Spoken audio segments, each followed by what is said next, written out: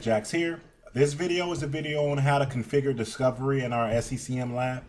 Um, right now, I don't have any users showing up in our users container under assets and compliance. I don't have any devices.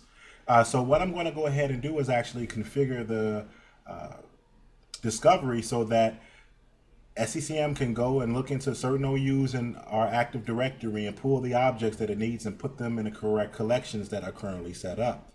Uh, so let's go ahead and take a quick look at that. So under administration, you would want to go to the hierarchy configuration. Under hierarchy configuration, you can see that we have discovery methods. Under discovery methods, you should see Active Directory forest discovery, Active Directory group discovery, system discovery, user discovery, heartbeat discovery, and network discovery.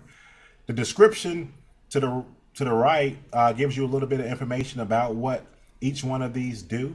Uh, you can also go to TechNet and Google in order to find out a little bit more about it. However, you know you can take a best guess um, uh, attempt at what it is by the name of the actual object that you're selecting. Uh, so we want to actually discover our forest. So we're going to go ahead, right click on that and hit properties. And we're going to enable Active Directory Forest discovery. As you can see, uh, there's information here in the general tab about what's going to take place when you do this. So we're going to go ahead and enable Active Directory forest discovery and also automatically create Active Directory site boundaries when they are discovered. And we're going to automatically create IP address ranges. And we're going to go ahead and click OK. So you're going to get prompted whether or not you want to do a full discovery as soon as possible. In a lab environment, it's perfectly fine to go ahead and do so. But if you're in a giant enterprise and you already have objects and things like that, well, you're going to have to uh, consider um, what kind of network impact that might, you know, occur when you do that. However, in this particular situation, we can do it without any fear of having to give any second thought to it. So, boom, yes. Next, we're going to go ahead and discover any security groups that we may have. We might want to associate security groups with role-based access and, and things like that. So getting those groups uh, pulled in, that's going to be a benefit to us. So let's go ahead and click on properties.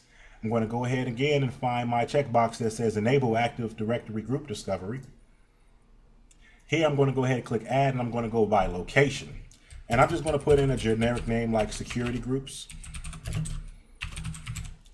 and I'm going to click browse and it's going to give me a little uh, tree of my uh, domain uh, control uh, domain OUs here and I'm going to gra grab my groups. I have my groups highlighted I'm going to go ahead and click OK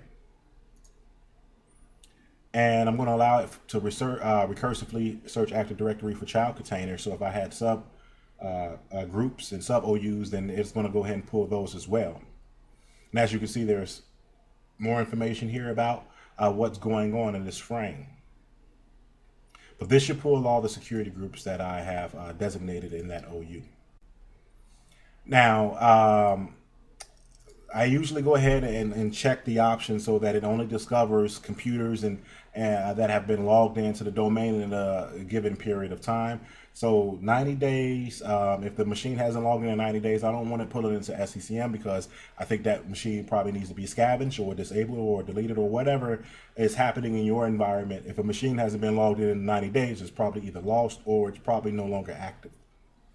Um, and, and that goes as well for any machine that hasn't had to check back in and get a Kerberos update or change its password. If it's not on the domain and it doesn't have a, a, a relevant password, then you might want to be careful about uh, giving access and, and, and importing uh, objects like that. I'm going to go ahead and click yes to do you want to run a full discovery. I'm going to go ahead and grab my systems now. So again, the theme is pretty simple. You're going to go ahead and click enable. I'm going to go ahead and browse to my uh, path. This is for computers, I believe, my system. So there are a couple of um, OUs that I have computers in. Um, I have a workstations OU. If you uh, uh, open it up, you can see that I have uh, child OUs that are broken down by operating system. So I'm going to go ahead and grab that and allow it to recursively search and pull objects from each one of those folders. I'm going to also add my servers OU because we want to keep our servers separated from our regular desktops because we might have to have different group policies uh, set to them. We might have to have different client uh, uh, uh policies and, and uh, from SCCM applied to those as well. We don't want to patch those at the same time. They're not going to have the same, uh, you know, weight in terms of when we do things with them.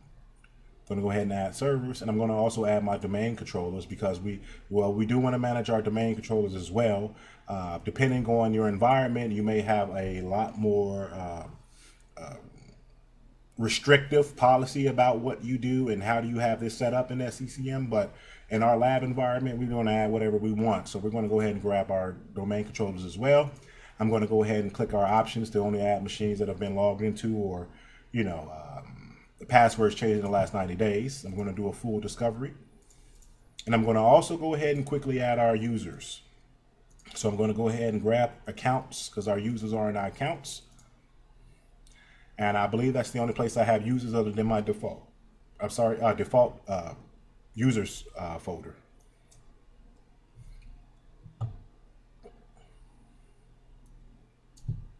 We don't have any option there to change the 90 day uh, password rule there, so we should be fine. So I'm going to go ahead and go to our assets and compliance, and as you can see, uh, we have some machines showing up now. Um, under users, we have some security groups showing up, and we have a couple of user accounts showing up. So right now, it's going, it, it's pulling in users and it's pulling in devices now, which is a good thing. I just went back to users and it pulled in even more. If we go over to our actual domain controller and, and grab our Active Directory users and computers, you can see that in our accounts, we have names like Alfred Norris and, and, and John Smith. Um, and, and those names are going to be reflected in our SCCM console.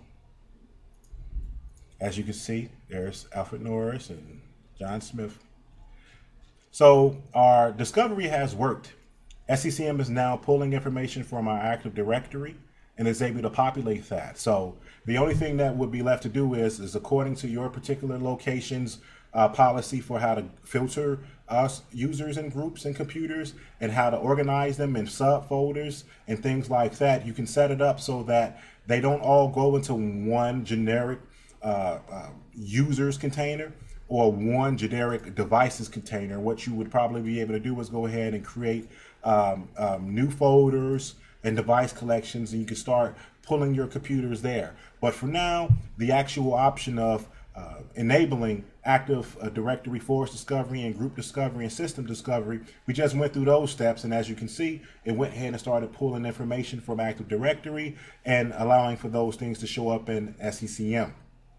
So what that would allow us to do is, is that uh, if we had a client uh, install uh, situation where we wanted machines that were in SCCM to automatically get the SCCM client installed on them, well, we can set it up to automatically go ahead and push out to any device that's in SCCM, and then those machines will get our client and they can start getting software and packages without us having to manually push or install our client. And that's what we're going to go ahead and show next. So what I'm going to go ahead and do is stop this video and we're going to do another video that talks a little bit about how to set up the client uh, uh, for SCCM so that you can push those to your host and have your host communicating with SCCM and getting policies and things like that.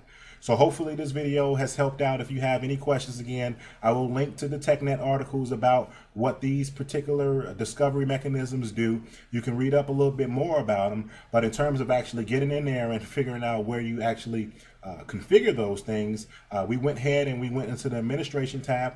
We went into the hierarchy configuration and went under the discovery methods, and we did a little quick demonstration about what options you might need to select in order to get that to work. So thank you. Um, until next time. Peace.